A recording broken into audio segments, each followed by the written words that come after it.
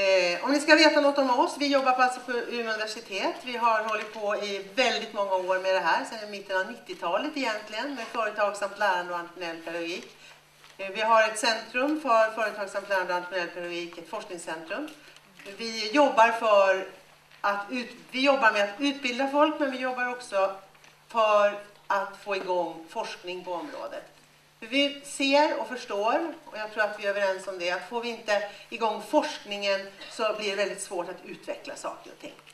Politiker tar till sig det och ser, vi, det är det här som behövs för att möta våra, våra barn idag.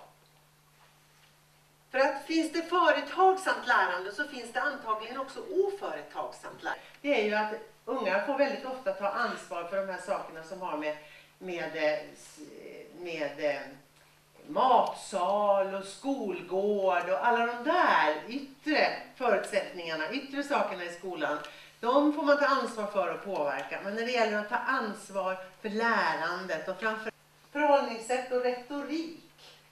Ehm, retorik upptäcker vi nu efter mer och mer hur viktigt det är att vi sätter fokus på.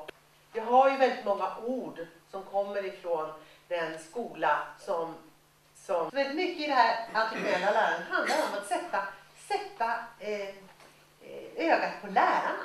Sätta ögat på sig själv och se vad gör jag i klassrummet egentligen? Hur pratar jag?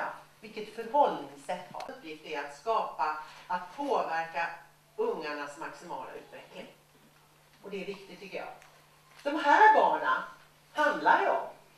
Jag tror att Astrid Lindgren har varit med i det här med entreprenöriellt lärande. Jag tror att hon sitter där uppe i sin himmel nu och säger ja, härligt, härligt, äntligen.